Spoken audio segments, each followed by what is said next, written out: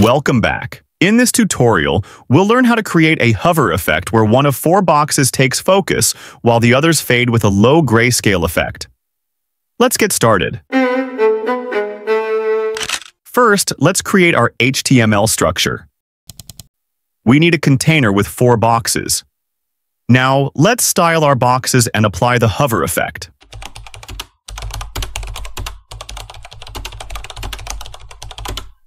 Apply grayscale and lower opacity only to non-hovered boxes.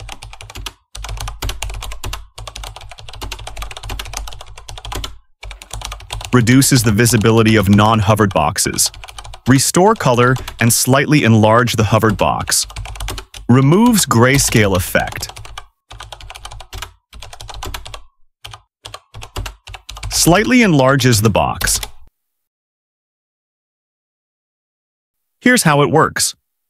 When you hover over the container, all boxes except the hovered one turn slightly gray and fade out. The hovered box retains its full color and grows slightly. That's it. You've learned how to create a hover focus effect using CSS. If you found this tutorial helpful, don't forget to like, subscribe, and comment. See you next time.